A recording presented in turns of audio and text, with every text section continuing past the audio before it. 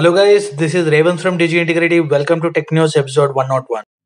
Reddit, Amazon, Twitch, Twitter, and several other websites and apps are part of mass outage with their user complaints from India and other countries spiking for each on Down Detector. The issue seems to have been caused by an outage at Fastly, a US-based cloud computing service provider that powers a content delivery network used by Amazon and other websites. Fastly has also confirmed that its services are down and has said that it is investigating the issue. Over 1000 Reddit and over 600 Twitch users have complained so far in Down Detector that the website website were down from them. Quora, GitHub, and Spotify are among the other websites have been affected by the global outage.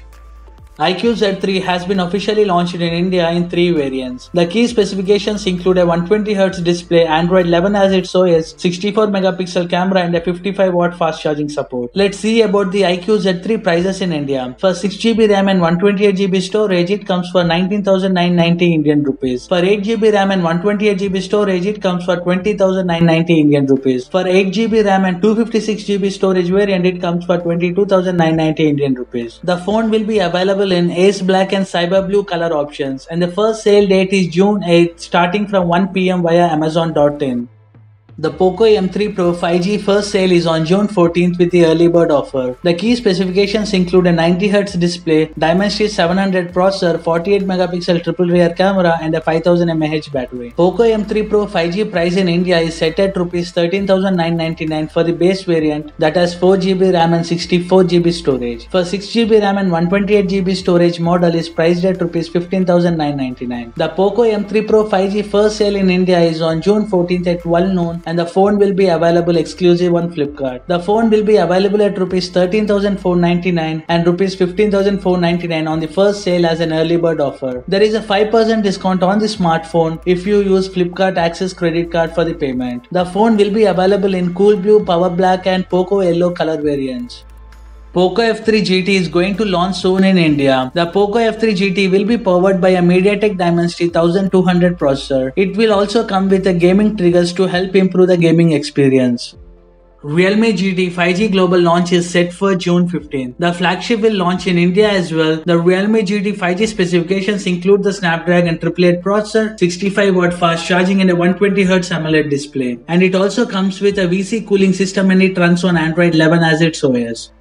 Realme has launched the C25s smartphone in India for Rs 9999. The C25s brings a MediaTek Helio G85 processor up from Helio G70 on the C25. The Realme C25s also has a 48 megapixel camera setup on the back.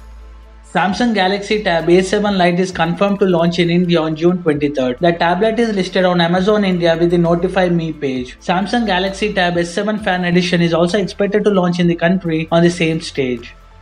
Sony latest pair of true wireless earbuds, the WF-1000XM4, are here and improve on their predecessor across the board. Part of that is thanks to the more capable Sony V1 chip, but the buds themselves have a better construction which enables better audio quality and improved noise cancellation. These are the first true wireless earbuds in the world to support high resolution audio over the LDAC codec. LDAC carries up to 3 times the amount of data comparing to typical Bluetooth audio. Xiaomi Mi 11 Lite India launch has been officially confirmed. The phone has already been launched globally. Mi 11 Lite 4G specifications include a 6.55 inch AMOLED display, Snapdragon 732G processor. It has a 64 megapixel triple rear camera and a 4250 mAh battery. Xiaomi has rolled out the drums to celebrate the opening of over 1000 Xiaomi stores in the global turf. This is coming despite the challenge posted by COVID-19 on brick and mortar stores and the growing competition in the smartphone market. In September last year, Xiaomi announced the opening of record 3000 Mi store in India alone, while in China it has announced in April this year that 500 Mi home store has been opened so far in this home country. The opening of 1000 Xiaomi stores in the global market is a milestone that is a reflection of the brand brand's global expansion strategy. Xiaomi unveiled MIUI 12 in the late April. It has been over a year, however, the company is yet to announce the next major iteration of its mobile operating system. Instead, the Chinese tech giant has been delivering the MIUI 12.5 incremental update for eligible devices worldwide. But now it's look like Xiaomi may finally unveil MIUI 13 in the coming days. Although the latest version of MIUI is currently on MIUI 12.5, the changelog mentions that the company has added support for MIUI 13 floating windows. This clearly clearly suggests that MIUI 13 is indeed in development. OnePlus has shared a 23 second long teaser on its official Twitter handle confirming that the upcoming new OnePlus TV U1S is co-tuned with the Dynaudio to deliver an eminence audio experience. The video teaser also showed us a glimpse of a new TV which suggests that OnePlus TV U1S will arrive with the minimal bezels to offer an edge-to-edge viewing experience. Besides that teaser didn't mention anything about the price and other details of the smart TV. OnePlus 9 and OnePlus 9 Pro are receiving a stable version of Oxygen OS 11.2.7.7 update with camera and system improvements. The update is rolling out in India currently with Europe and North America to follow soon. OnePlus Nord 2 will launch in July 2021 as per the new leak. OnePlus Nord 2 will come as a successor to OnePlus Nord that was launched in July 2020. OnePlus Nord 2 could come with a MediaTek Dimensity 1200 processor. Earlier this year, when the Indian government was in a battle with Twitter, an Indian developer alternative called Koo was launched. Now, microblogging platform which shares several features with the platform it is trying to replace was originally designed specifically for Indians as it offered its services in multiple local languages. A new report has announced that Koo is now available in Nigeria. This comes shortly after the Nigerian government banned Twitter in the country. Flipkart has launched a contactless QR code based facility for all its pay on delivery shipments. The payment method not only ensures greater safety for consumers at a time when they are looking to minimize personal contact, but also addresses the trust deficit that many consumers might face. Consumers who earlier opt for cash on delivery can now use a facility, scan the QR code attached to their purchase, and make a digital payment for their order through any UPI app at the time of delivery. Apple has started the Worldwide Developer Conference. Apple is starting the keynote by talking about iOS 15 with upgrades to FaceTime. Users will also be able to bring other features from apps such as music into the FaceTime call. With iPadOS 15, Apple is adding feature for multitasking, bringing widgets and app libraries to the iPad as well. Apple has also confirmed on iCloud with subscription service with a focus on privacy. Apple has also confirmed macOS Monterey with brings features such as universal control, improvements to Safari and many more. Universal controls will let users control their iPads and Macs with just one keyboard and trackpad. Apple WatchOS 8 adds new mindfulness features, redesigned photo apps, and improvements to the health app. Apple has already announced its plan to bring this to the music streaming service at no extra cost for subscribers. A new patent from Microsoft has revealed a new Surface device that will feature four under-display camera sensors, with the company's logo being displayed when these cameras are not in use thanks to their alignment. This is indicative of the company's aim of improving the camera capabilities of its device. In the same month, the brand also filed a patent with the World Intellectual Property Office regarding this logo camera design for the Surface device. The four cameras in question will be positioned similar to the logo design, with each camera has its own color filter. These four sensor will be placed under the display of the device and are intended for mobile computing device such as Microsoft Surface device. Furthermore, the cameras can display a color icon when the sensor are not in use to display the company's logo on the front. So the device will display the logo by default and switch to the camera when the shutter is activated.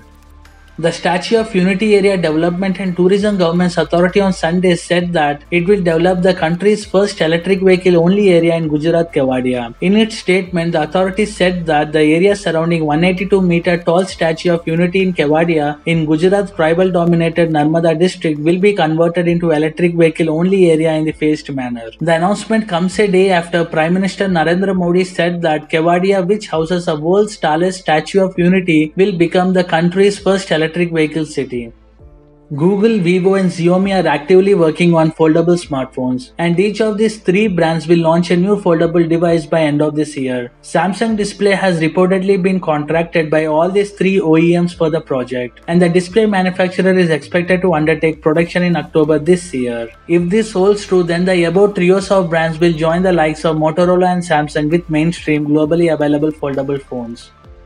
Google is rolling out a new Pixel feature drop update for its Pixel range of smartphone. For those unaware, the search giant is known for introducing new features for its phone every 3 months via Pixel feature drop releases. The latest update for June brings some interesting additions. The June 2021 Pixel feature drop update is being seeded of the following Google Pixel smartphones. The Pixel 5, Pixel 4a 5G, Pixel 4a, Pixel 4 XL, Pixel 4, Pixel 3a XL, Pixel 3a, Pixel 3 XL and Pixel 3 3. Although the entire pixel range is receiving the update, some features are not available on certain devices. That said, let's take a look at this new feature one by one. First is astrophotography videos. As the name suggests, users of Pixel 4 and later devices will be now able to record videos while clicking pictures in astrophotography mode. Users can try waiting longer to click a shot to get more stars in their video. Second update is Heads Up. This feature is a part of Digital Wellbeing app. It will periodically alert users to look up from their handset screen while walking. It was previously only available for selected few users. Third is Locked Folder. This feature was first announced at Google I/O 2021. It will let users to save their selected photos and videos in Google Photos to a different called Locked Folder.